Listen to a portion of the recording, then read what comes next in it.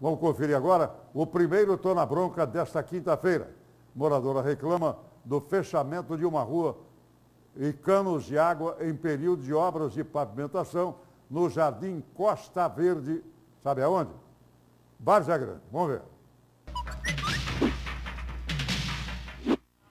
Edivaldo, tô na bronca.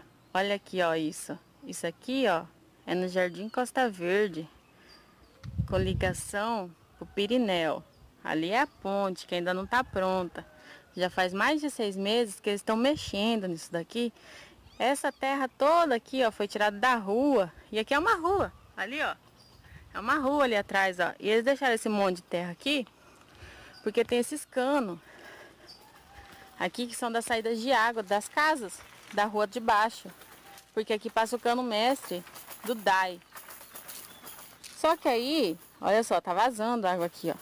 Aqui tem uma rua, ó, ali é uma rua. E eles colocaram esse monte de terra por causa que o cano passa bem aqui. Eles não tiram a terra porque vão estourar o cano e já chamaram o DAI.